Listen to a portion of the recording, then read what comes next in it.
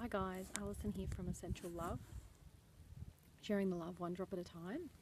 Um, I just I was speaking to a friend last night, and she gave me a really good tip on something she's been doing with the oils.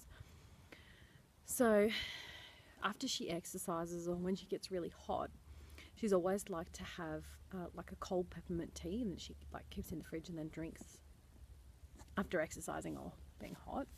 Um, and so the other day when she did it, she thought, oh, I'm going to add a drop of peppermint to it.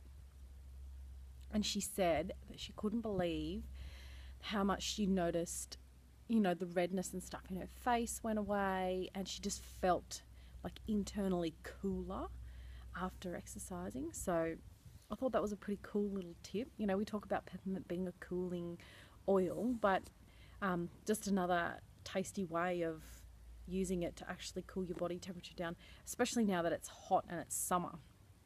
And it's something that I'm going to use for my kids because they don't care how hot it is, they always want to play outside. So I thought if I've got a nice cold peppermint drink in the fridge that they can drink, I don't have to worry about them overheating. So, another little tip for you guys on these beautiful summer days. See ya!